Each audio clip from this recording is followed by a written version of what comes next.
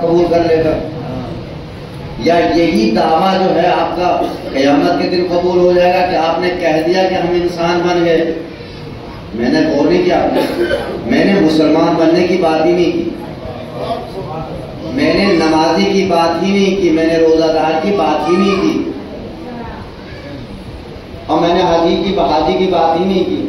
میں بہت سادہ سے لفظوں میں جو بات عرض کرنا چاہ رہا ہوں کہ کیا آپ نے جملہ کہہ دیا کہ ہم انسان بن گئے ہیں؟ آپ یاد رکھیں مسلمان بننے کے لیے کلمے کی ضرورت ہے۔ مگر انسان بننے کے لیے کوئی کلمہ بھی نہیں ہے۔ نہیں اور کیا مسلمان بنے گے تو کیا کہیے گا؟ کہ کلمہ پڑھیے۔ لیکن اتنا ذہن میں رہے اور آپ یاد رکھیں، سب سے آسان کلمہ ہے ان مسلمان بننے کے لیے۔ اور سب سے مشکل کلمہ ہے انسان بننے کے لیے۔ جو ہے نا؟ سب سے مشکل کلمہ ہے۔ کون سا؟ انسان بننے کے لیے۔ اور آپ نے کہہ دیا دو کلمے آپ نے پڑھے مسلمان ہو گئے۔ آپ چاہے مسجد میں چلے جائیے، چاہے اللہ خانے میں چلے جائیے، چاہے خانہ کعبہ کے ارد گرد سات چکر لگا کے چلے۔ کوئی پوچھنے والا نہیں ہے، کیا ہے؟ کہ صاحب، ہم نے کلمہ پڑھ لیا۔ لیکن آپ غور کریں، یہ جو آپ نے کہا کہ ہم انسان بن گئے اور مسلمان بن گئے، تو ذہن میں یہ بات رہے، قرآن مجید نے اس بات کی نفی کر دی ہے کہ انسان وہ نہیں ہے جسے تم انسان کو ہوگے انسان وہی ہے جسے قرآن انسان کہے۔ قرآن۔ قرآن کے سامنے کھڑے ہو جاؤ اور بہت سارے لوگ جو ہیں وہ، میں میں پھر آپ کے آپ کی خدمت میں یہ بات آج کرنا چاہ رہا ہوں کہ ذہن میں رہے۔ بہت سارے حضرات اس غلط فہمے کا شکار ہیں۔ کہ صاحب امام زمانہ غائب ہیں۔ پردے کرنا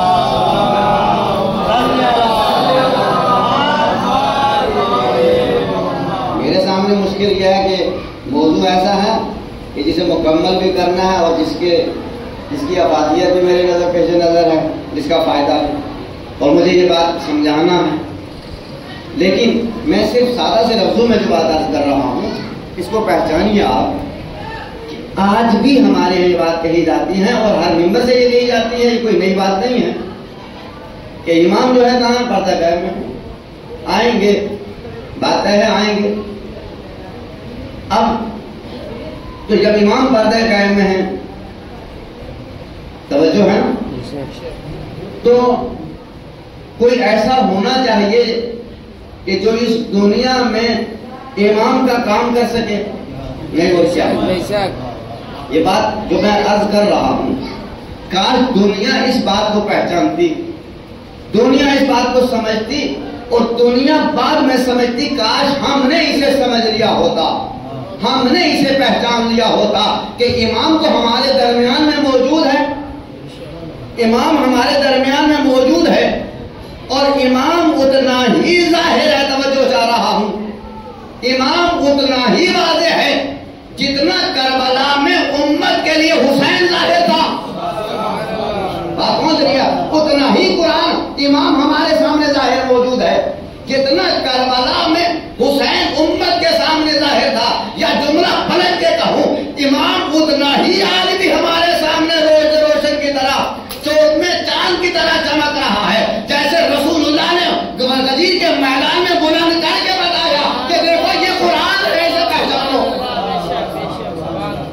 تمہارا امام ہے اسے پہچانو۔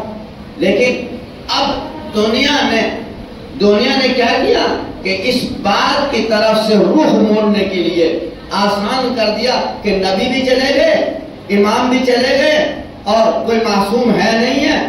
لہذا اب اب پیمانہ کیا ہے؟ کیا اب جیسا ہم چاہیں گے، جسے ہم چاہیں گے انسان کہیں گے، جسے ہم چاہیں گے مسلمان کہیں گے، جسے ہم چاہیں گے مومن کہیں گے، جسے ہم چاہیں گے فتوے کافروں کے بھی بٹ رہے ہیں فتوے منافقوں میں بٹ رہے ہیں۔ اور عجب میں لاج ہے کہ کافر کافر کے خلاف فتوا دے رہا ہے۔ جو ہے نا؟ کافر کافر کو فتوا دے رہا ہے اور کافر مسلمان کو مسلمان کو کافر بنا رہا ہے۔ پہچانا آپ نے، کافر مسلمان کو کافر بنا رہا ہے۔ اور یہ عجب مزاج ہے۔ ایک بلند سوال پڑھ دے محمد علیہ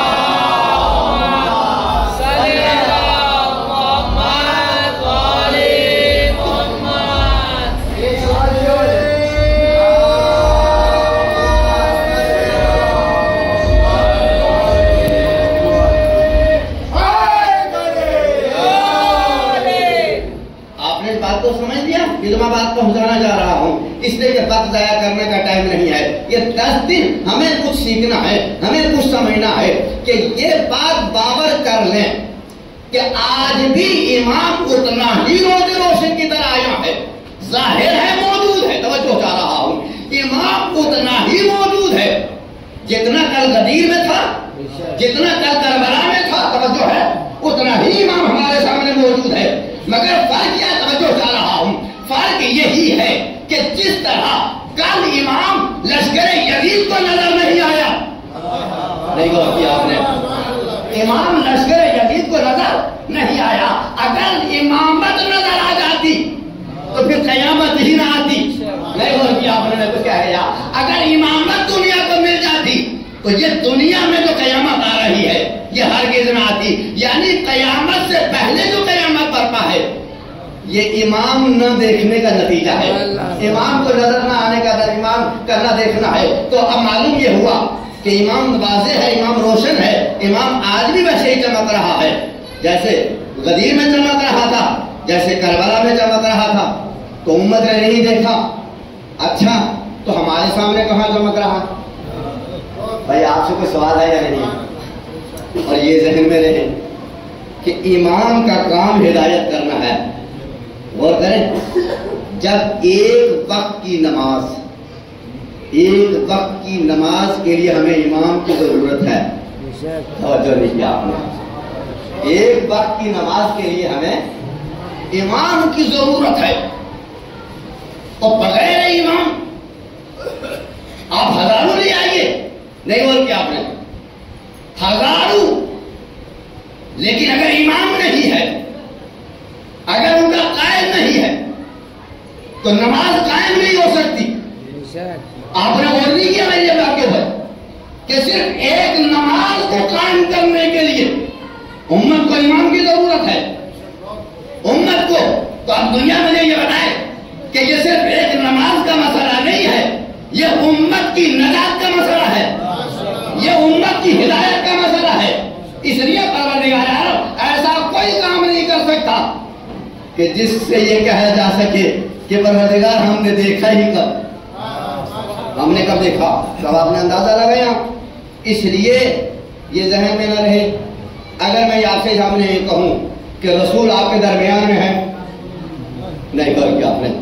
رسول آپ کے درمیان میں ہے، تو اس میں کسی شک و شبے کی گنجائش نہیں ہے۔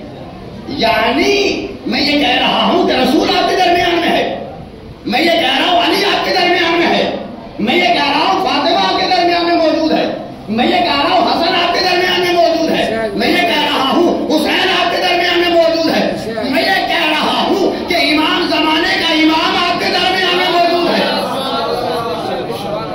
آپ دلیل تو مانگیں گے آپ دلیل مانگیں گے نا تو نس چاہیے ہمیں بہت توجہ کریں خدا کی قسم جس مقصد کی طرف لے جا رہا ہوں۔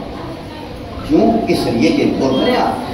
ہمیں یہ کہہ کر کے بہت توجہ کریں ہمیں یہ کہہ کر کے آج میں صرف سادہ سی مثال دینا چاہتا ہوں۔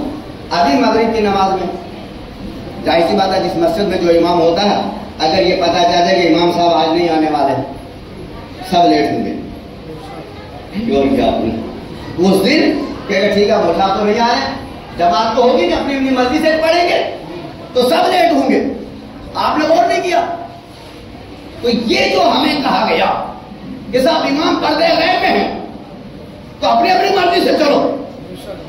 اپنی اپنی مرضی سے چلو جی کوئی آٹھ بجے آ رہا نماز پڑھ رہا ہے، کوئی ساڑھے آٹھ بجے آ رہا پڑھ رہا ہے، کوئی نو بجے آ رہا پڑھ رہا ہے، کوئی دس بجے آ رہا پڑھ رہا ہے۔ یعنی یہ امت کو غفلت میں ڈالنے کا ایک پیغام تھا نہیں بول کیا آپ نے امت کو غفلت میں ڈالنے کا ایک پیغام تھا کہ جس کی وجہ سے یہ کہہ دو امام صاحب تو آنے والے نہیں ہے دادا جی جسے آنا، اپنی مرضی سے آگے پڑھ کے ذرا دے لیکن کاش آپ نے غور کیا ہوتا، کاش آپ نے نبی کی بات کو مانا ہوتا، آپ نے نبی کی طرف رجوع کیا ہوتا، آپ نے نبی کو دیکھا ہوتا کہ پیغمبر ہمارے درمیان میں کیا کہہ کے گئے۔ پیغمبر ہمارے درمیان میں کیا چھوڑ کے کر گئے۔ اب پیغمبر نے جب یہ کہا کہ ہاں، میں جملہ کہوں کہ محمد تمہارے درمیان علی تمہارے درمیان میں موجود، فاطمہ تمہارے درمیان میں موجود، تو میرے پاس ثبوت ہونا چاہیے۔ یاد رکھیں یاد رکھیں، اس لیے کہ قرآن کے دو روح ہیں۔ قرآن کے دو روح ہیں۔ ایک سورت کا نام محمد ہے، دوسرے کا نام قرآن ہے ایک کا نام قرآن ہے ایک کا نام علی ہے ایک کا نام حسن ہے ایک کا نام قرآن ہے تو آپ یاد رکھیں قرآن کا ایک رخ یہ ہے قرآن کا ایک رخ امام زمانہ کی ذات ہے۔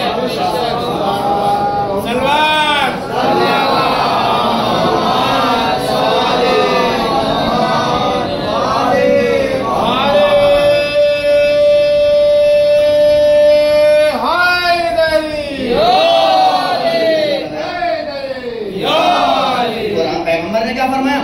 پیغمبر نے کہا اب میں یہ حدیث سے نہیں پڑھتا اس لیے نہیں پڑھتا مجھے پتا ہے۔ مجھے پتا ہے یہ حدیث ہے جو میں پڑھ کے چلا جاؤں گا، یہ صرف لفظوں کی طرف عربی کی ایک لفظ ہوگا بس اور کچھ نہیں ہوگا۔ اس لیے کہ ہماری توجہ ہی نہیں ہے۔ اب پیغمبر نے کیا فرمایا؟ پیغمبر نے فرمایا، علی قرآن کے ساتھ ہے۔ اور قرآن، نہیں غور کیا آپ نے۔ قرآن علی کے ساتھ، علی قرآن کے ساتھ ہے۔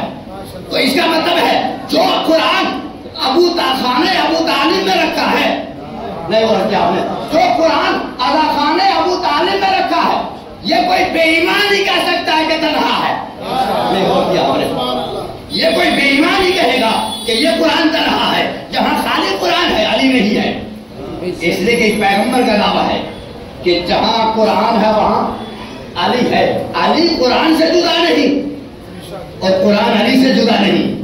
تو یہ ایک سنت تھی کہ جو میرا مسیح ہوگا۔ نہیں اور کیا آپ نے۔ جو میرا جانشین ہوگا وہ قرآن کے ساتھ ہوگا قرآن اس کے ساتھ ہوگا۔ یہ سند میں علی کو نہیں دے رہا ہوں۔ یہی سند حسن کے لیے ہے۔ یہی سند حسین کے لیے ہے۔ اب جو تمہارے درمیان میں قرآن ہے تو یہ سمجھ لو یہ تلاوت ہے خالی۔ اب قرآن کی آیتیں نہیں ہے تمہارے درمیان زمانے کا امام بیٹھا ہوا۔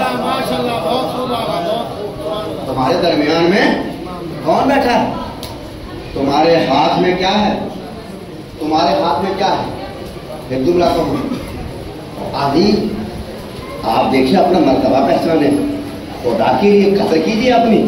قدر کیجیے میں اب کل سے میرے جو وضو شروع ہوا ہے، اب میں اس کو تکمیل کر لے کے جاؤں گا۔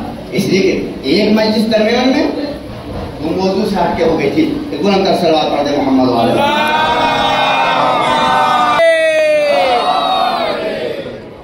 اور آج مجلس پندرہ منٹ یا بیس منٹ اپنے ہاتھ سے پہلے شروع جیسے کہ بیس منٹ کا بیٹھا تھا آج دو بجے اس لیے کہ آج کے لیے آرام کر کہ کل سے دو بجے ٹھیک میں بیٹھتا ہوں آپ کا انتظار ہے؟ میں نہیں کروں گا۔ ایسا بات پڑھتے محمد والے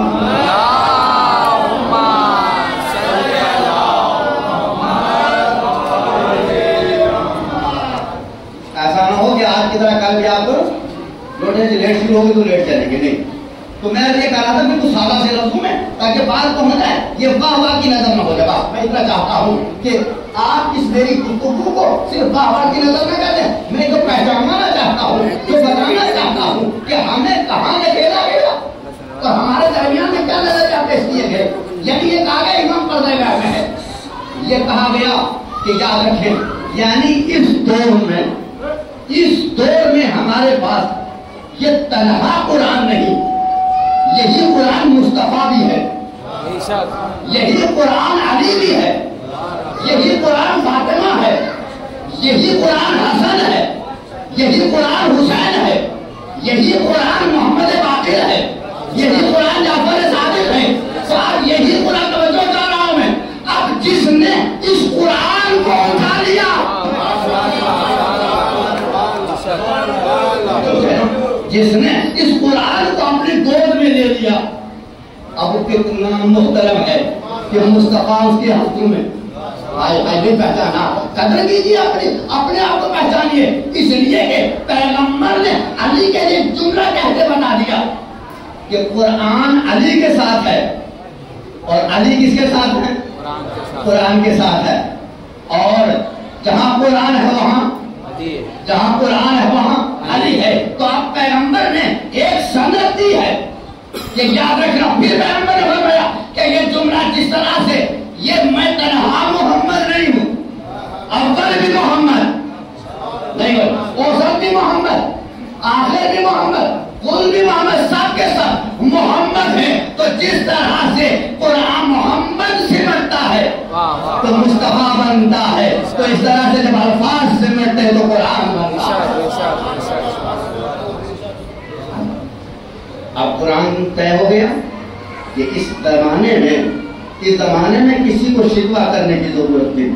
آج یہ کہنا چاہتے ہیں کہ ہمارے زمانے کا امام کیا چاہتا ہے؟ آپ کو کسی مولوی سے پوچھنے کی ضرورت نہیں۔ قرآن کے ساتھی سے پوچھو۔ زمانے کے امام کے ساتھی سے پوچھو۔ امام زمانہ کا ساتھی کون ہے؟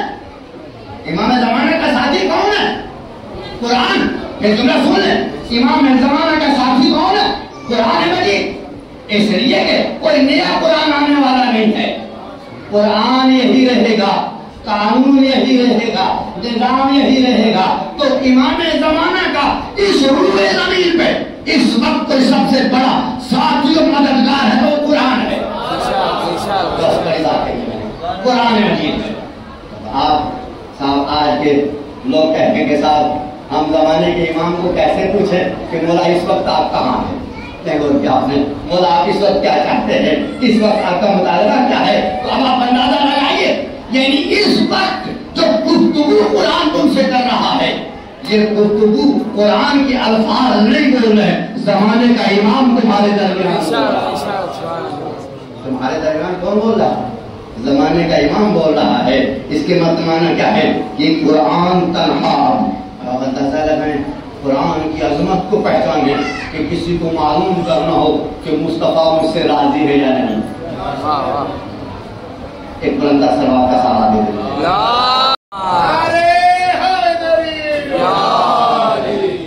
اس وقت آج آپ کے سامنے میں کہہ رہا ہوں، یہ غلط فہمی اللہ سے دور کریں۔ یہ غلط فہمی ہے درمیان میں کہ ہم مصطفیٰ کی رضایت کو نہ سمجھیں تو کلمہ پڑھنے کا فائدہ نہیں۔ کا فائدہ بھی ایسا کلمہ کا کہ جس میں ہمیں یہ نہ پتہ چلے کہ مصطفیٰ ہم سے راضی ہے یا نہیں ہے علی ہم سے راضی ہے یا نہیں ہے فاطمہ ہم سے راضی ہے یا نہیں ہے حسین ہم سے راضی ہے یا نہیں ہے دیکھیے مجلس سے حسین راضی نہیں ہوں گے نہیں اور کی آپ نے پہچانا مجلس سے صرف حسین طرح راضی نہیں ہوں گے تو مصطفیٰ راضی ہے یا نہیں کیا مانتے یا نہ مانا مصطفیٰ راضی ہے یا نہیں علی راضی ہے یا نہیں حسن راضی یا نہیں؟ کیسے پتا چلے گا؟ زمانے کا امام راضی ہے یا نہیں؟ کوئی پیمانہ تو ہونا چاہیے؟ کوئی معیار تو ہونا چاہیے؟ تو یاد رکھیں، جس سے قرآن بھی راضی ہے، اس سے مصطفیٰ بھی راضی ہے، اس سے فاطمہ بھی راضی ہے، اس سے حسن بھی راضی ہے، اس سے حسین بھی راضی ہے، اس سے زمانے کا امام بھی راضی ہے۔ تو اس کے معنی یہ ہے کہ چوکا کی رضا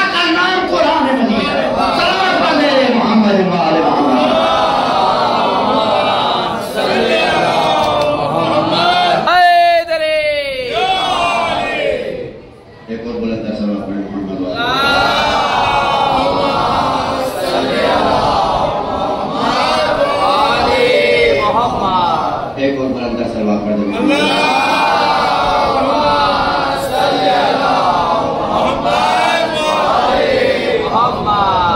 جی کہ اس دور میں، اس دور میں کوئی انسان کی شکوا نہیں کر سکتا۔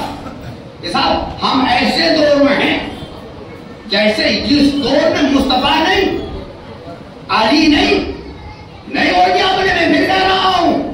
جس نے قرآن کو دیکھا اس نے مصطفیٰ کو دیکھ لیا۔ جس نے قرآن کو دیکھ لیا۔ آج آپ یہ دیکھنا چاہتے ہیں کہ علی کی صورت کیا ہے؟ علی کی سیرت کیا ہے؟ علی کا کردار کیا ہے؟ علی کا علی کا علی کا لہجہ کیا ہے؟ تو یاد رکھے دنیا کی تاریخ میں نہ دیکھے قرآن کے آئینے میں دیکھے قرآن کے آئینے میں دیکھو۔ قرآن کے آئینے میں دیکھو نا۔ قرآن کے آئینے میں دیکھو۔ توجہ کریں یہ وہ مذہب نہیں ہے جس کے رہبر مر جاتے ہوں۔ نہیں وہ کیا اس کا رہبر نہیں مرتا۔ ہے اس کا رہبر نہ پہلے مرا ہے، نہ آج مرا ہے۔ جو ہے اب آپ نے اندازہ لگایا کہ مصطفیٰ کو دیکھنا ہو۔ تو زمان امام کا قرآن کو دیکھو۔ نہیں اور کیا ہو قرآن کو دیکھو۔ قرآن کو دیکھنا ایسا ہے جیسے مصطفیٰ کو دیکھو۔ قرآن کو دیکھنا ایسا ہے جیسے علی کو دیکھا، قرآن کو دیکھنا ایسا ہے جیسے حسن کو دیکھا، قرآن کو دیکھنا ایسا ہے جیسے حسین کو دیکھا۔ تو آپ نہیں کہہ سکتے کہ صاحب میں نے علی کو نہیں دیکھا۔ اب آپ نہیں کہہ سکتے کہ میں نے حسن کو نہیں دیکھا۔ اب آپ نہیں کہہ سکتے کہ میں نے حسین کو نہیں دیکھا۔ نہ یہ غلط ہے۔ جس کے پاس قرآن ہے اس کے پاس آدم بھی ہے۔ اس کے پاس نور بھی ہے۔ اس کے پاس ابراہیم بھی ہے۔ اس کے پاس موسا بھی ہے۔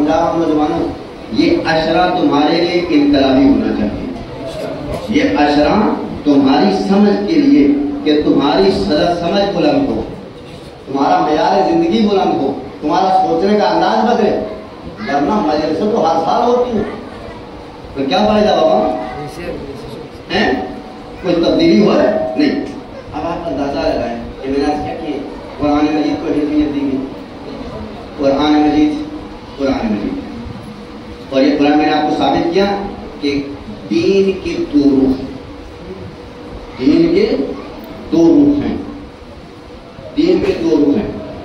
کہیں سامنے دین کا جب رخ ہماری طرف ہوتا ہے، تو مصطفیٰ ہو گئے مصطفیٰ سامنے ہوتے ہیں مرتضیٰ سامنے ہوتے ہیں حسن سامنے ہوتے ہیں حسین سامنے ہوتے ہیں اور جب دین کا دوسرا رخ ہوتا ہے، یہ سب پیچھے چلے جاتے ہیں، قرآن سامنے آتا ہے۔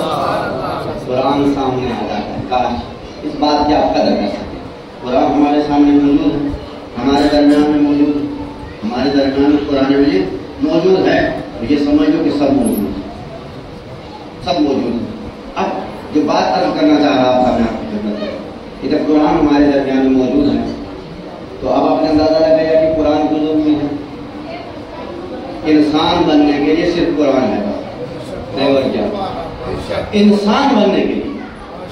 آپ دنیا کی کسی یونیورسٹی میں جائیں گے، وہاں سے آپ کو ایک ڈگری دے دیں گے۔ آپ کو پی ایچ ڈی کی ڈگری دیں گے آپ کسی میڈیکل میں جائیں گے، وہاں جا کر کے چار پانچ سال لگائیں گے، ایک ڈگری دے دیں گے ایم بی بی ایس کی۔ آپ کسی دوسرے کالج میں جائیں گے، وہاں سے آپ کو ایک ڈگری مل جائے گی انجینئر کی۔ آپ کسی اور کالج میں جائیں گے، وہاں سے کوئی سائنس کی ڈگری مل جائے گی، کوئی کمپیوٹر کی۔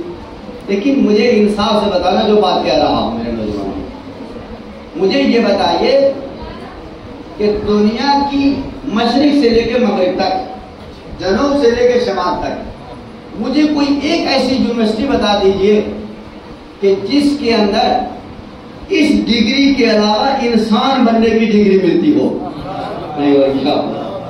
انسان بننے کی ڈگری کہیں نہیں ہے۔ کہیں نہیں انسان آپ ڈاکٹر بنا سکتے ہیں۔ مگر ڈاکٹر بنے گا۔ ہو سکتا ہے ڈاکٹر تو بہت اچھا ہو، مگر انسان اچھا نہ ہو۔ کئی بار کہ آپ نے بات پہنچی ہے ڈاکٹر بہت اچھا ہے، مگر بہت بڑا اخلاق ہے، بہت لالچی ہے، بہت دنیا پرست ہے یعنی وہ مریض کو نہیں دیکھتا ہے، پیسوں کو دیکھتا ہے۔ اسی طرح سے آپ کم میں چلے جائیے نجب میں چلے جائیے اچھا عالم بنا دیں گے۔ اچھا عالم بنا دیں گے۔ مجھے یہ بتائیے اچھا انسان بنایا؟ عالم ہونا کافی نہیں ہے۔ اس لیے دنیا کی ساری یونیورسٹیاں جو ہیں، سارے کالجز جو ہیں، دنیا کے سارے اسکول جو ہیں، وہ آپ کو ڈگری دے کر کے مارکیٹ میں بھیج ہو سکتے ہیں۔ مگر انسان بنا کے نہیں بھیج سکتے اس لیے پروردگار عالم نے آواز دی میرا کام انسان بنانا ہے تمہارا کام ڈاکٹر بنانا ہے اللہ سبحانہ و تعالیٰ نے اس لیے اس لیے غور کریں آپ دنیا میں جائیں، یہ جتنی ڈگریاں ہیں ان ڈگریوں کی ویلیو کیا ہے، آپ کو پتا ہے۔ آج ڈگریوں کی جو ویلیو ہے، وہ آپ کو پتا ہو اور ڈگریوں کی ویلیو کیوں خراب ہوئی؟ ڈاکٹر کیوں بدنام ہوئے؟ علماء کیوں بدنام ہوئے؟ میں نے کل کی تقریر میں کی تھی۔ علماء بدنام ہے یا نہیں ہے ڈاکٹر بدنام ہے یا نہیں ہے انجینئر بدنام ہے یا نہیں ہے دنیا کا کوئی ایک شعبہ ایسا بتا دو کہ جو پاک ہو۔ نہیں اور کیا آپ نے؟ کوئی ایک ایسا شعبہ بتا دو کہ جس کے اوپر اعتماد کیا جا سکتا ہو۔ کہا صاحب ہر جگہ رشوت، ہر جگہ بے ایمانی ہر جگہ دلالی، ہر جگہ پہ چوری۔ تو کہا پھر وجہ کیا ہے؟ وجہ یہ ہے کہ تم نے ڈاکٹر تو بنا دیا مگر انسان نہیں بنایا۔ اس لیے قرآن نے آواز دی، ڈاکٹر وہاں بنے گا، انسان ہم بنائیں گے۔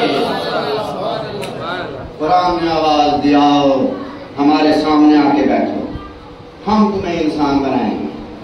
اور جب ہم انسان بنائیں گے، توجہ ہے، جب ہم انسان بنائیں گے، تو اب ڈاکٹر بنو گے، تو بھی کمال کو جاؤ گے۔ نہیں اور کیا؟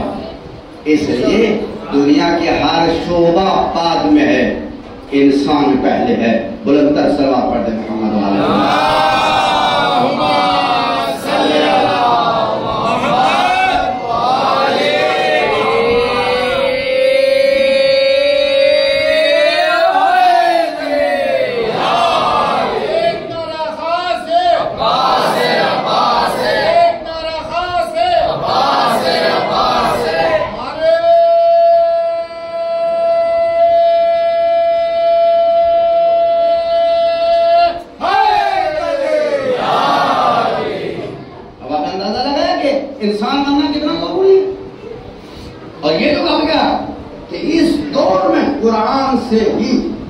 انسان سکتے ہو۔ اس کے علاوہ تم دنیا کی جتنی کتابیں پڑھو، آپ کے پاس نالج تو آ سکتی ہے، آپ کے پاس بیکابلری تو ہو سکتی ہے۔ آپ اچھے اسکالر تو بن سکتے ہیں، مگر انسان نہیں بن سکتے۔ اس لیے دنیا کی واحد کتاب ہے قرآن، جو تمہیں انسان بنائے گی۔ اگر انسان بن گئے، تو دنیا کی ساری مشکلیں خود بہت ختم ہو جائیں گی۔ میں نے بہت بڑی بات کہی، بہت بڑی بات کہی۔ اور یہ رکھیں دنیا کی جتنی پریشانیاں ہیں، دنیا کی جتنی جنگیں ہیں، یہ سرحدوں میں جو ملک تقسیم ہے زمین پٹی ہوئی ہے، زمین جنگ کا میدان بنا ہوا ہے، گھر جنگ کے میدان بنے ہوئے ہیں، دیواریں ٹوٹ رہی ہیں، کہیں سرحدیں بن رہی ہیں، کہیں سرحدیں ٹوٹ رہی ہیں، یہ بھائی بھائی میں بٹوارا یہ بھائی بہن کا جھگڑا، یہ باپ بیٹے کا جھگڑا، یہ پڑوسی کے ساتھ جھگڑا۔ اصل میں یہ سارے جھگڑے ہیں اس لیے کہ پڑوسی تو ہے مگر انسان نہیں ہے۔ بیٹا تو ہے مگر انسان نہیں ہے۔ بھائی تو ہے مگر انسان نہیں ہے۔ اگر یہ انسان ہوتا تو دنیا میں جھگڑا ہی نہ ہوتا۔ دنیا میں اگر صرف انسان بن جائے انسان، صرف انسان بن جائے، تو سارے جھگڑے خود بخود ختم ہو جائیں گے۔ اس لیے اس تقریر کو میں یہی سمیٹ کر کے بس چند دو لوگوں گزارش کر دوں اور بات کو ایک آگے پہنچا دو اس پر تک سلوات پڑھ دے محمد والا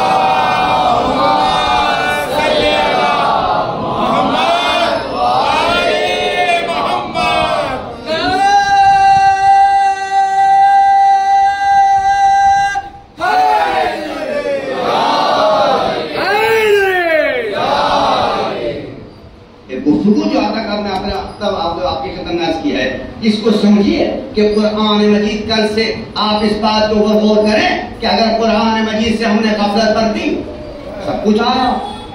اچھا اس زمانے میں کوئی شکوا نہیں کر سکتا تھا۔ ارے بارے بارے بچہ تین منٹ کا ہوتا ہے تو موبائل بھی مجھے مارنے لگتا ہے موبائل؟ وہ بھی اسمارٹ چاہیے۔ اس کو اسمارٹ اچھا میں کبھی کبھی یہ جملہ کہتا ہوں کہ ڈیڑھ فٹ کا بندہ تین فٹ کا موبائل لیے گھوم رہا ہے۔ وہ ڈیڑھ فٹ کا اور تین فٹ کا موبائل لیے گھوم رہا ہے تعجب یہ ہے نا یہ اچھا آپ یہ اگر اندازہ لگائیں اس وقت لوگ کہتے ہیں ہم غریب ہیں لوگ کیوں ایسے جملے کہتے ہو غریب ہو آپ ایک گھر میں پانچ آدمی ہیں پانچ آدمی ہیں میں صرف کوشش بتا رہا ہوں اس لیے کہ یہ ممبر کی ذمہ داری ہے کہ آپ کو یاد دلائے کہ کہاں غلطی کر رہے ہو آپ کہاں غلط ہو؟ یہ ممبر بتائے گا۔ اور جس دن ممبر سے یہ بتانا ختم ہو گیا، اس دن پھر کوئی دنیا میں جگہ نہیں ملے گا۔ آئیے، گھر میں پانچ آدمی ہیں۔ تو پانچ موبائل ہیں۔ اوسط بتا رہا ہوں اب پانچ موبائلوں کی قیمت لگا لو ابا جی کا موبائل کتنے کا ہے؟ اما جی کا کتنے کا ہے؟ بہن جی کا کتنے کا ہے؟ اور بھائی جی کا کتنے کا ہے؟ اگر اوسط لگا لے آپ، اوسط لگا لیں، تو میرے خیال میں ایک لاکھ سے تو کم نہیں ہوں گے۔ اس لیے کہ بیس ہزار سے نیچے کا تو ابھی غلط تو نہیں کہہ رہا ہوں میں۔ غلط تو نہیں کہہ رہا، میں بیس کا بتا رہا ہوں۔ یہ آدھی قیمت۔ یہ بھی میں جھوٹ بول رہا ہوں ممبر سے۔ اس لیے تاکہ سب کی عزت محفوظ رہ جائے۔ ایک لاکھ کے موبائل کس کے گھر میں؟ اب ایک لاکھ کے موبائل میں خرچہ جوڑ لیجیے ہر مہینے کا۔ وہ نہیں کر رہے میرے بات کے اوپر اب آپ نے اندازہ لگا غریب ہیں۔ اگر غریب نہیں ہو۔ اچھا موبائل کی کور۔ موبائل کی کور۔ اس کی صفائی، اس کی ڈیکوریشن۔ کاش اتنا اپنے آپ کو سجایا ہوتا تو موبائل کی ضرورت نہ پڑتی۔ اتنا آپ نے آپ کو اگر سجایا ہوتا، اتنا اپنے آپ کو اگر بچایا ہوتا، اب آپ نے دیکھا، پھر میں کہہ رہا ہوں یہ آپ کی بات کیا؟ یہ ہماری مجبوری ہے۔ مسلح پہ سجدگاہ ہو یا رہا ہوں موبائل صاحب میں ضرور ہوتا ہے۔ ہے نا؟ یعنی یہ مسلح کا حصہ بن گیا۔ ہے یعنی نماز اتنی ضروری نہیں ہے۔ نماز یاد رہے یا نہ رہے؟ موبائل یاد رہتا ہے۔ پھر ایک جملہ کہتا ہوں ہمارا پہچانا۔ لوگ کہتے ہیں، صاحب غریب ہے۔ کہاں سے غریب ہو بھائی؟ کون آدمی کہتا ہے میں غریب ہوں؟ وہ زمانہ چلا گیا، غربت کا رونا ہوتے تھے لوگ۔ خدا کی قسم، آج جتنا اخراجات ہمارے ہیں، صرف موبائل کا خرچہ جو ہے، صرف ایک موبائل کا جو خرچہ ہے گھر کا اس کو اگر آپ بیلنس بنا کر کے رکھے آپ کو اندازہ ہوگا کہ سال بھر میں ہمارے گھر کے اخراجات کتنے ہیں۔ موبائل کتنی مرتبہ چینج ہوتا ہے۔ موبائل کی سم کارڈ کتنی مرتبہ چینج ہوتی ہے۔ اور اس کے بعد جو اخراجات ہیں، وہ کتنے ہیں؟ تو آپ کو اندازہ کرا ہم غریب ہیں یا امیر ہیں؟ سلوات محمد محمد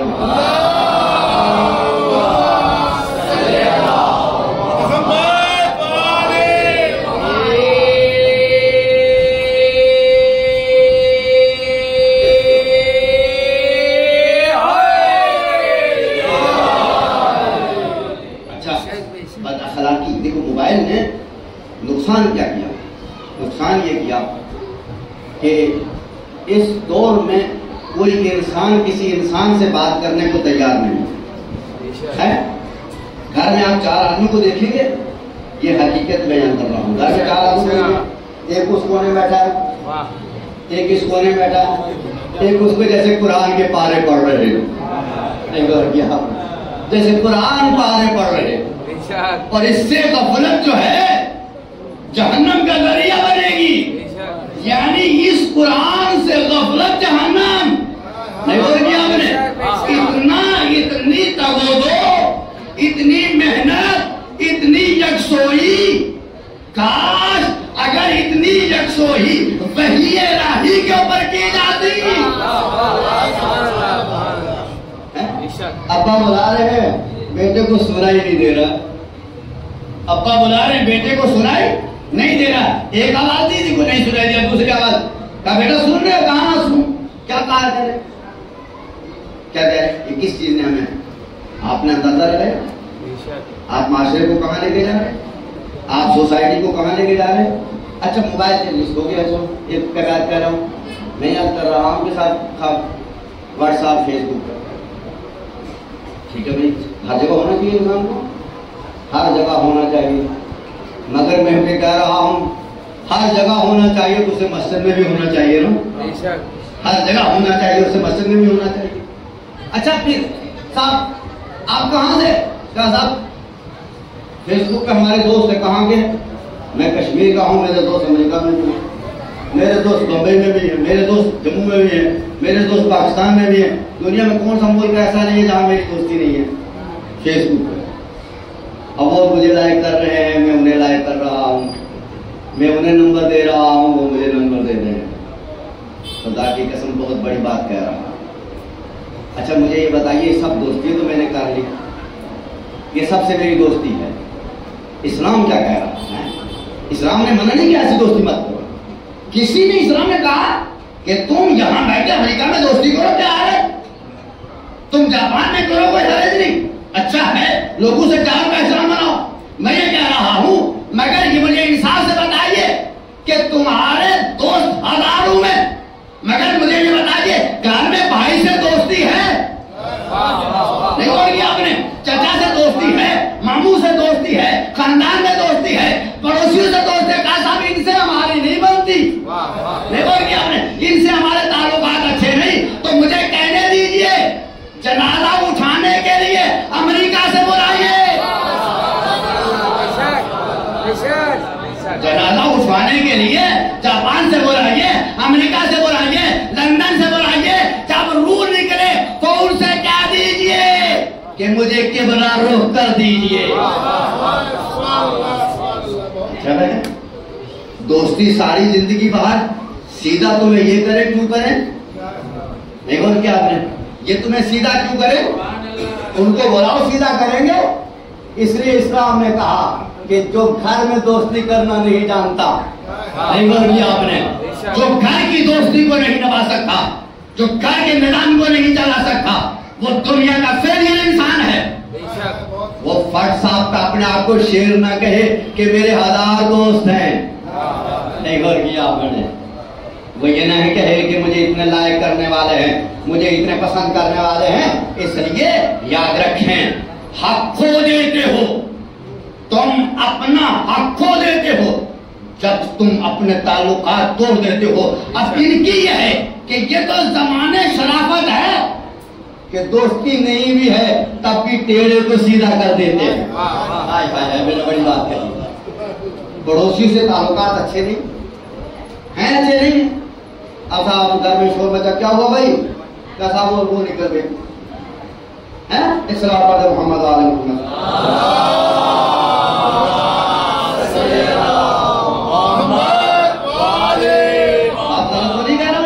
یہ جتنی باتیں کہہ رہا ہوں غلط تو نہیں کہہ رہا ہوں۔ کسا روح نہیں کر رہی ہے اب بیٹے کو پتا نہیں کہ کدھر موڑے۔ بات سمجھے کچھ تو کہہ رہا ہوں۔ اس لیے کہ کبھی زندگی میں یہ پوچھا ہی نہیں۔ زندگی میں کبھی پوچھا ہی نہیں کہ اگر ابا کی روح نکل جائے ابا کی اگر روح نکل جائے تو کدھر رخ کر دیں؟ کہا یہ بات سمجھی ہوتی، یہ پہچانا ہوتا اس جملے کو۔ اس جملے کو سمجھا ہوتا۔ اب لاج رکھی ہوئی ہے، پڑے ہوئے۔ ہیں ابا کی روح بھی نکل گئی۔ اب صاحب رونے میں لگے ہوئے۔ ہیں پڑوس سے آیا ایک آدمی۔ اب زندگی ساری اس پڑوسی کو برداشت نہیں کرتا تھا۔ دعائیں کرتا تھا کہ اب چھوڑ کے بھاگے۔ نہیں، ہمیں ہضم نہیں ہوتا نا پڑوسی۔ پڑوسی ہمیں ہضم نہیں ہوتا۔ خاندان والے ہضم نہیں ہوتے۔ اچھا تعجب یہ ہے، اتنا بغض جو ہم برتتے ہیں، کس کے لیے برتتے خاندان والوں کے لیے۔ عجب ہے ہیں؟ خاندان والوں کے لیے آپ یاد رکھیں، میں ایک بات کہہ رہا ہوں، جو اپنے خاندان کا نہیں ہو سکتا، رب اس کا ہرگز نہیں ہو سکتا چیلنج کر کے جا رہا ہوں، اگر کسی کو اس بات کے، اور جو اپنے خانوادے کا نہیں،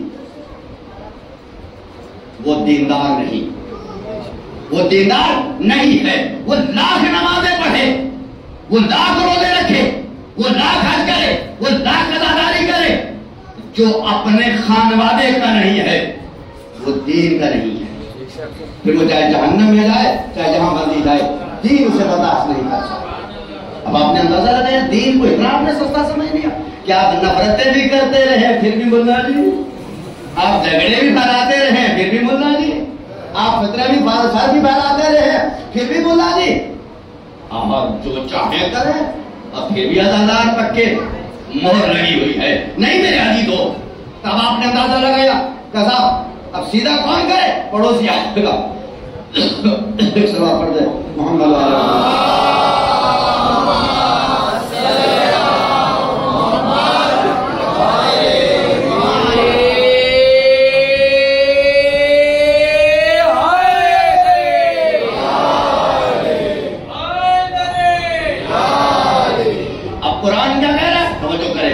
کہ سب پڑوسی آئے گا سیدھا کرے گا۔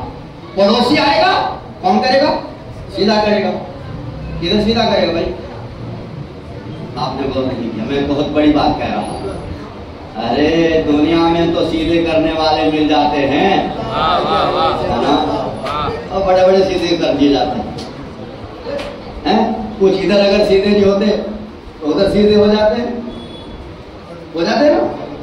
لیکن مجھے یہ بتائیے کہ یہ جو تمہیں آج سیدھا کر رہا ہے، کیا تم اس کا ہاتھ مکا سکتے ہو؟ ہائے ہائے ہائے کیا تم اس کا ہاتھ بدلا دے سکتے ہو؟ اس لیے کہ آج تمہاری عزت کی لاج رکھی ہے۔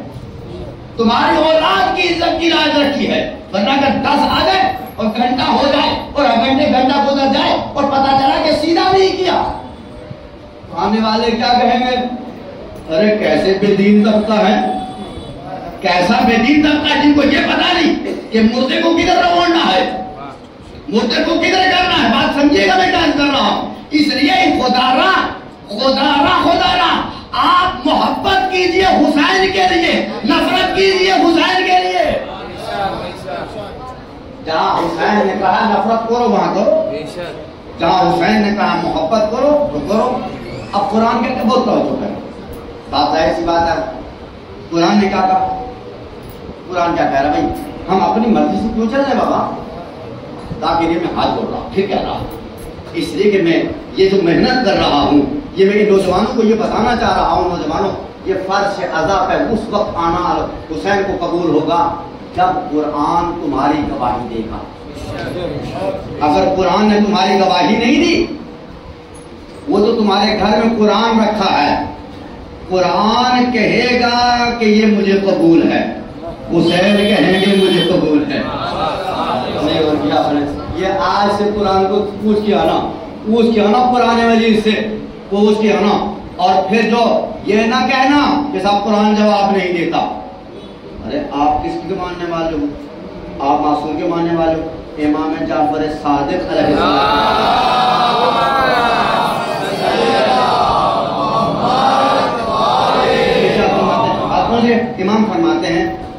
مولانا صاحب ایسے فرما ہے عالم دین میں ان کی موجودگی میں ہی جملہ کہہ رہا ہوں۔ آپ کی خدمت میں پیش کر رہا ہوں تبرکل امام فرماتے ہیں کہ میں نے قرآن کو اتنا پڑھا۔ نہیں ہو کیا میں نے قرآن کو اتنا پڑھا کہ قرآن مجھ سے باتیں کرنے لگا میں نے قرآن کو پڑھا، ایسے پڑھا کہ قرآن مجھ سے باتیں کرنے لگا۔ یہ امام جو کہہ رہے ہیں، یہ اپنے لیے نہیں کہہ رہے۔ ہیں یہ تم کو بتا رہے ہو کہ اگر میرے ماننے والے ہو، تو تم قرآن کو پڑھو گے، قرآن تمہیں جواب دیتا چلا جائے گا۔ قرآن تمہیں جواب دے گا۔ اب اب میں بات کیا کہہ رہا تھا؟ اب آپ نہ کہیے گا، میں بھول گیا۔ قرآن کہہ رہا ہے، قرآن کہہ رہا ہے کہ نفرت کرنے کو کوئی پیمانہ ہے۔ قرآن کہہ رہا ہے کہ نفرت کرنے کا کوئی پیمانہ، قرآن نے بتایا۔ کسی سے بغض رکھنے کا کوئی پیمانہ، قرآن نے بتایا۔ کسی سے نفرت کرنے کوئی پیمانہ نہیں ہے۔ اچھا ہمارے سب ہیں۔ اب آپ بتائیے، قرآن مجید نے ایک چیز کو حرام قرار دیا ہے۔ قرآن۔ نے بہت توجہ۔ جتنے بھی لوگ یہاں بیٹھے ہیں، آج اس فرش آزاد سے عہد کر کے جائیے کہ ہم قرآن کے ساتھ ہیں۔ اور یاد رکھیں تو قرآن کے ساتھ ہو جائے گا، وہ پھر زمانے کے امام کا ہو جائے گا۔ جو قرآن کے ساتھ ہو جائے گا، قرآن نے کہا کہ قطع تعلق حرام ہے۔ خاندان والے ستا رہے ہیں، خاندان والے پریشان کر رہے ہیں، خاندان والے اذیت کر رہے ہیں۔ تو اسلام نے کہا منہ کو دو نہیں روٹ جاؤ، نہیں۔ یہی ہے نا، قرآن نے کیا کہا؟ قرآن نے کہا تمہارے خاندان والے بہت برے بہت برے مگر کتنے بھی برے ہیں، اگر تم سے روٹ بھی جائیں تب بھی تم نہیں روٹ سکتے۔ حتیٰ کہ اگر بات نہیں بھی کرنا چاہتے، سلام کی حد تک رشتے کو باقی رکھو۔ سلام کی حد تک، یہ قرآن۔ قطع تعلق کیا ہے؟ قطع تعلق تعلق کو توڑ دینا اسلام نے حرام قرار دیا، قرآن نے حرام قرار دیا۔ اب مجھے انصاف سے بتائیے کہ قرآن کا حکم ہے کہ تم قطع تعلق نہیں کر سکتے۔ رشتہ داروں کے درمیان میں بات چیت بند نہیں کر سکتے۔ ہم سالوں گزر جاتا ہے، بات نہیں کرتے، پھر بھی پکے مسلمان رہتے جبکہ قرآن کہہ رہا ہے یہ حرام ہے۔ تم مسلمان ہو تو قرآن کے ساتھ چلو۔ تو اب میں نے یہ بات کہی۔ میں نے یہ بات کہی کہ کہ یہ میں نے بتایا کہ زمانہ کہاں جا رہا کہا صاحب اتنی دوستیاں ہیں، تو سیدھا کس نے کیا؟ کس نے کیا؟ پڑوسیوں نے، خاندان والوں نے۔ آئے۔ اچھا نجس تھے۔ اگر میں یہ نہ کہوں ساری زندگی کی نجاست کو۔ نہیں کہا کیا آپ نے یہ تین غسل۔ ابھی ایک ہی کافی تھا۔ ایک غسل میں ہی کام ہو جاتا۔ ایک ہی مرتبہ ہو جاتا کام مگر نہیں۔ کیا کیا تاریخ ہے؟ کیا بات ہے خدا کی قسم؟ کاش میرے پاس وقت ہوتا۔ ان تین غسلوں کے فلسفے کو بیان کرتا۔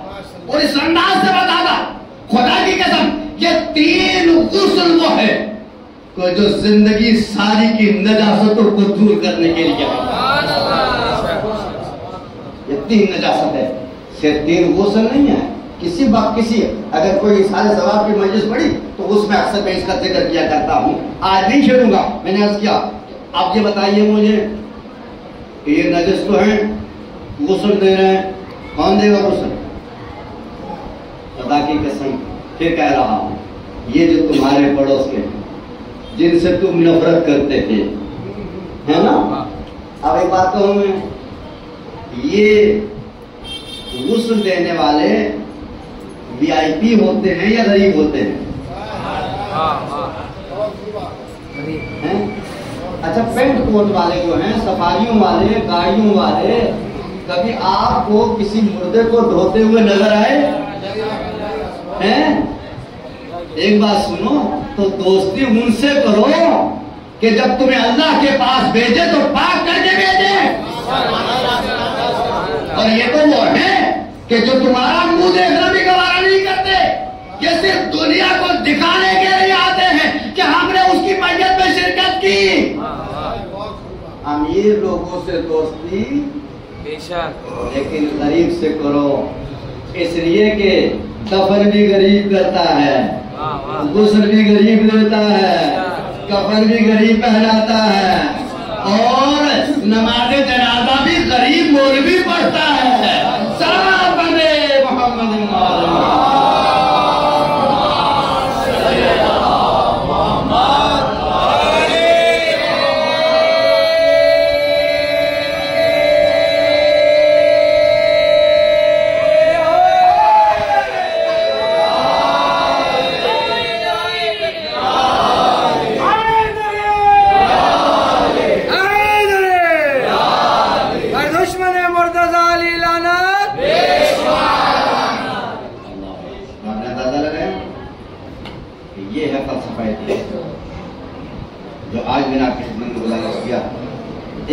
ایک تک ہم نے کسی اپنی بات کو آپ تک پہنچانے کی کوشش کی۔ لیکن بہت ساری باتیں جو ہو رہ گئی۔ آج کی تقریر۔ آج کی تقریر میں جتنی باتیں مجھے گزارش کرنی تھی، لیکن وہ ہر روز کہیں نہ کہیں رہ جاتی ہیں۔ لیکن مجھے یقین ہے کہ جو باتیں میں گزارش کر رہا ہوں، میرا نوجوان طبقہ اس بات کو سمجھے گا کہ ہماری ذمہ داریاں اس سے کہیں زیادہ ہیں۔ ہماری ذمہ داریاں اس سے کہیں زیادہ ہیں۔ فرش ازا کے اوپر آنے سے آپ کی ذمہ داریاں کم نہیں ہو جاتی پڑ جاتی۔ آپ پہنچیے آپ پہنچیے نا؟ آپ کا فرش ادا پہ نہیں آئے، آپ کی ذمہ داریوں بہت کم تھی۔ ایک سلام پڑھتے محمد والے محمد والے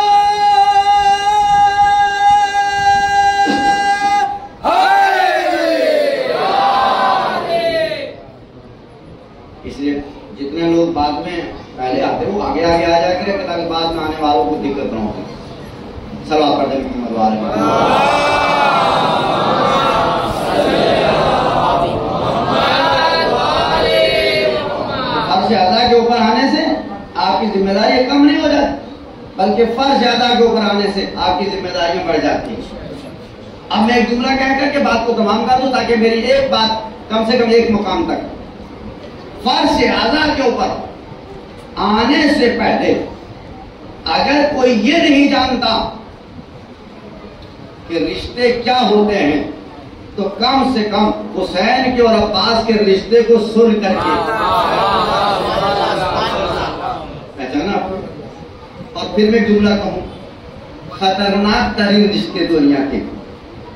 اور جو رشتے نفرت کی مثال میں تو پیش کیے جا سکتے ہیں، مگر محبت کی مثال نہیں دی جا سکتی۔ اور وہ دو رشتے، کون سے رشتے ہیں؟ وہ ہے عباس کا اور زینب کا۔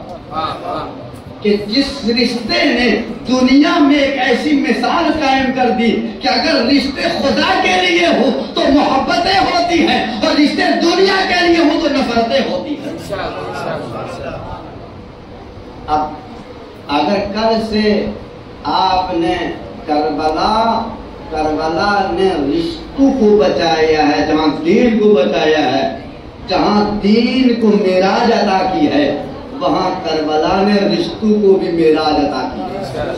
کربلا میں ہر رشتے کو حسین نے میراج تک پہنچایا ہے تاکہ دنیا یہ نہ سمجھے کہ کربلا میں ہم فقط دیندار بنانے کے لیے لائے تھے، نہیں۔ ہر وہ انسان دیندار ہے کہ جو رشتوں کو پہچانتا ہے۔ یہ میری تقریر کا روز خلاصہ ہو رہا ہے کہ کل ایسا نہ ہو کہ آپ یہ کہیں کہ میں یہ بات دس دن تک مسلسل رپیٹ کروں گا۔ کیا کروں گا؟ کہ رشتوں کو جو نہیں پہچانتا جو باپ کو نہیں پہچانتا۔ جو باپ کی قدر کرنا نہیں جانتا وہ کبھی ازادار نہیں بن سکتا۔ نہیں آپ علم کو چومتے ہیں۔ چومتے نہیں چومتے؟ چومتے ہیں؟ سب چومتے ہیں یار۔ کی بات ہے علم کو چومتے ہیں۔ مگر میں ایک بات کہوں خدا کی قسم، آپ علم کو چومتے یہ آپ کو اچھا لگتا ہے۔ بہت بڑی بات کہہ رہا ہوں۔ میں صاحب بہت بڑی بات کہہ رہا ہوں۔ اس کے اوپر توجہ دیجیے گا۔ آپ علم کو چومتے ہیں۔ یہ آپ کو پسند ہے۔ یہ کس کو پسند ہے؟ آپ کو پسند۔ لیکن آپ باپ کے ہاتھ چومتے یا باس کو پسند ہے؟ آپ ماں کے ہاتھ چومتے ہو یا باس کو پسند ہے؟ تو اب آپ مجھے انصاف سے بتائیے آپ کی پسند بڑی ہے یا باس کی پسند؟ آپ عباس کو علم کو چومیے یا آپ کی پسند ہے؟ تو چومیے میں نہیں منع کر رہا ہوں۔ زیادہ چومیے احترام کیجیے علم کو چومنا یہ بھی ایک فخر ہے۔ مگر میں یہ کہہ رہا ہوں، یہ علم کو چومنا یہ آپ کی پسند ہے۔ باپ کے ہاتھ کو چومنا یہ عباس کی پسند ہے۔ بڑے بھائی کا ہاتھ چومنا یہ عباس کی پسند ہے۔ زینب کے بہن کے سامنے جھک جانا یہ عباس کی پسند ہے۔ بڑی بہن ہے زینب۔ لیکن ایک جملہ کہوں میں، روایت کا ایک جملہ کہوں میں۔ اور مسائل کی شاید کسی کی طرف آتا اللہ اکبر۔ جناب زینب ہمیشہ جناب عباس یہ کہتی تھی، عباس بھیا، میرے سامنے جب آؤ، سر اٹھاؤ۔ یہ سنتے ہیں علماء سے نہیں سنتے؟ میرے سامنے آؤ۔ لیکن جناب عباس کہتے تھے۔ کہ یہ کیسے ہو سکتا ہے؟ یہ کیسے ہو سکتا ہے کہ میری نگاہیں آپ کے چہرے کو دیکھیں؟ اللہ۔ یہ ادب۔ یہ احترام تھا جناب زینب اور یہی وجہ تھی۔ میں کیا کہ کربلا صرف نمازوں کو بچانے کے لیے کربلا صرف روزوں کو بچانے کے لیے کربلا رشتوں کو میراج عطا کرتا رشتوں کو بچاتا ہے۔ اللہ اکبر۔ اور ہر رشتے میں کربلا میں ایک حق ادا۔ مسلم بھائی مسلم بھائی اور آپ نے یہ کہوں ایک جملہ کربلا کی بنیاد کا نام مسلم۔ اور کربلا کی انتہا کا نام حسین۔ اور جس مسلم کو کربلا کی بنیاد بنایا گیا ہو، جس کے اوپر کربلا کی بنیاد رکھی ہو اس کا مقام کتنا بلند ہوگا؟ اس کا مرتبہ کتنا بلند ہوگا؟ جس کا انتخاب حسین نے کیا، جس کا منتخب جو منتخب حسین نے کیا ہو۔ اور یہ حسین کی چاہت ہے کہ مسلم مسلم، تم میرے نائب بن کر کے جاؤ گے، میرے سفیر بن کر کے جاؤ گے۔ یہ حسین کا انتخاب ہے۔ جناب مسلم نے سر جھکا لیا، مدینہ چھوڑ دیا۔ لیکن چلتے ہوئے جب ایک مرتبہ مدینے سے نکلنے لگے تو جو چھوٹے چھوٹے بچے مسلم کے دامن سے لپٹ گئے اور ایک مرتبہ کہا، بابا، آپ کو پتا ہے، ہم آپ کے بغیر سو نہیں سکتے، آپ کے بغیر ہمیں چین نہیں ملتا. مسلم نے جب بچوں کی طرف دیکھا تو نگاہیں دوڑائی تو کہا کہ میں کسی کی طرف جا رہا ہوں، میں مشکلات کی طرف جا رہا ہوں، میں پریشانیوں کی طرف جا رہا ہوں۔ بچوں، تم کہاں جاؤ گے؟ کیا بچوں نے آواز دی ہو؟ اے بابا اے بابا، آپ کہہ رہے ہیں کہ میں پریشانیوں میں جا رہا ہوں۔ ارے، کل حسین بھی تو اسی سفر پہ آئیں گے۔ حسین کے بچے بھی تو آئیں گے۔ حسین کے ششماہے تو بھی آئیں گے۔ تو کیا ہاں، اگر وہ پریشانیاں برداشت کر سکتے ہیں، وہ تکلیفیں اٹھا سکتے ہیں تو ہم تو نہیں ہیں؟ حسین نے جناب مسلم کو تیار کیا، اپنا سفیر بنا کر کے بھیجا۔ چھوٹے چھوٹے بچوں کو مسلم نے تو ساتھ دیا اور مدوف کی طرف آ اور کوفہ، ایسا کوفہ، اللہ اکبر۔ یہ کوفہ ہے۔ خدا کی قسم جب کوفے کا نام لیتے ہیں، تو جسم پھیل جاتا ہے۔ جسم کے اندر ایک ڈر پیدا ہوتا ہے ایک ایسا کوفہ ہے یہ۔ کہ جس کوفے نے مسلم کے ساتھ وفا نہ کی۔ جناب مسلم کوفے میں وارد ہوئے، لوگوں نے بہترین استقبال کیا، مسلم کو مسجد تک لے کے گئے۔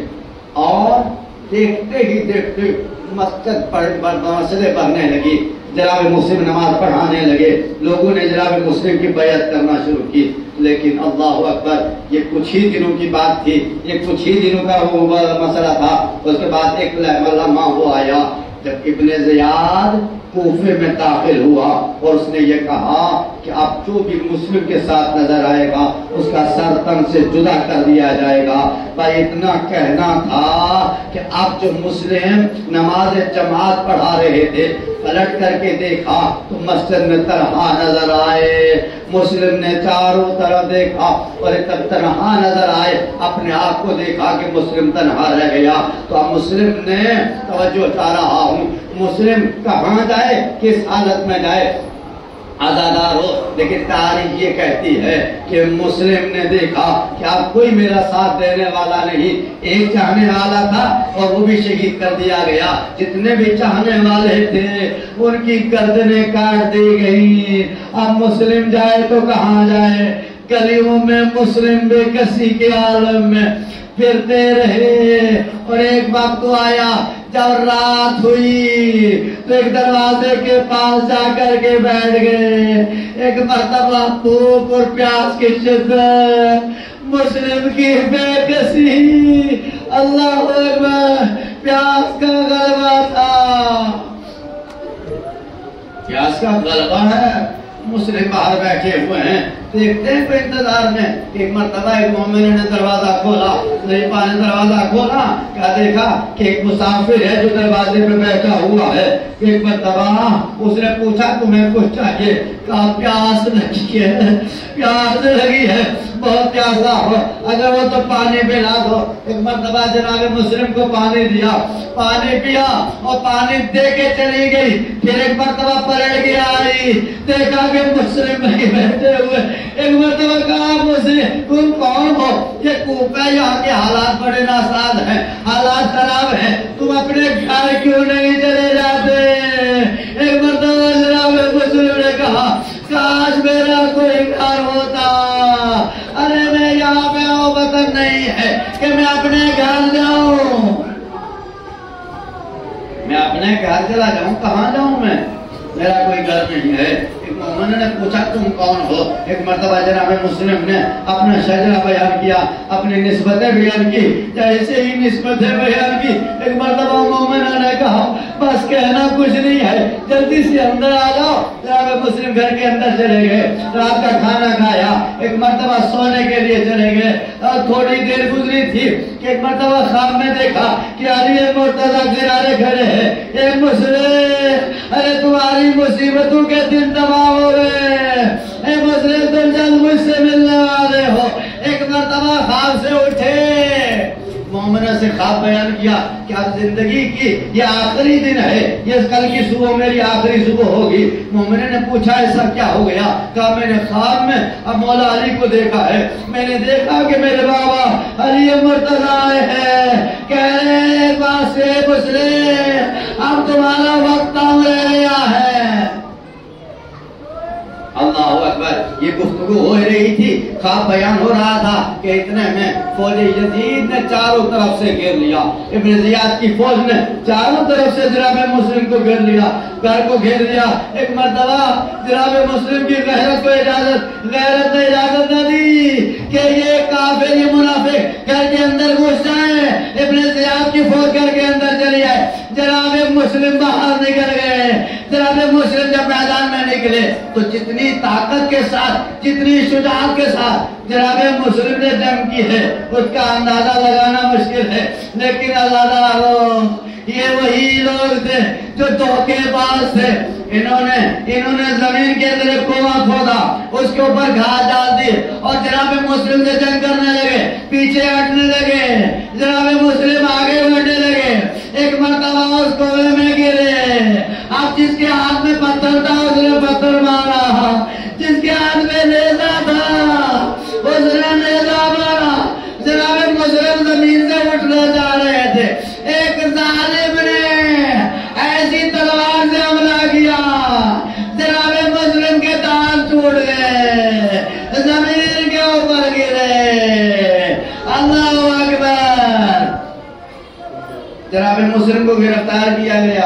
اور گرفتار کے ہاتھوں پاؤں میں رسیاں باندھی گئی۔ اور گرفتار کرنے کے بعد ایک مرتبہ ابن زیاد کے دربار میں لے جایا گیا۔ ابن ابن زیاد کے دربار میں جب جناب مسلم پہنچے ہیں تو ایک مرتبہ ایک غلام نے کہا، اے مسلم، تم نے ہمارے ہمارے آقا کو سلام نہیں کیا۔ ہمارے آقا کو سلام نہیں کیا۔ مسلم نے کہا، کس کو؟ کہا، ایک ابن زیاد کو۔ کہا، میرا آقا صرف حسین ہے۔ اس ملعون کو میں سلام نہیں کر سکتا۔ بس ہزاروں ابن زیاد نے کہا اس نے میری توقین کی ہے۔ جلاد کو بلایا، کہا، لے جاؤ اس کو، لے جاؤ اس کو، اور جا کر کے اس کو دبا کر کے چھت سے اوپر پھینک دو، چھت سے نیچے پھینک دو۔ جناب مسلم کو لے جا گیا۔ کہ چھت کے اوپر جا کر کے جناب مسلم نے مہلت مانگی۔ کہ مجھے اتنی مہلت دے دو کہ میں دو رکعت نماز پڑھ سکوں۔ ازادارو جناب مسلم نے دو رکعت نماز پڑھی اور ایک مرتبہ حسین کی طرف روکیا السلام علیکم یا ابا عبداللہ۔ ازادارو ابھی سلام مکمل نہ ہوا۔ جناب مسلم کو چھت سے نیچے گرا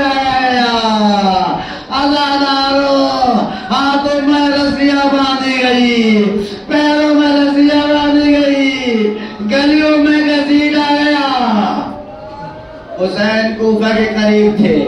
ہر آنے والے مسافر سے پوچھ رہے مسافر تو کہاں سے آ رہا ہے؟ کہا، کوفہ سے کہا، کچھ خبر ہے۔ کہا، بس خبر اتنی ہے کہ جب میں نے کوفہ چھوڑا مسلم کی لاش کو گھسیٹا جا رہا تھا۔ مسلم کے پاؤں میں رسیاں بندھی تھی۔ حسین زمین پہ بیٹھے۔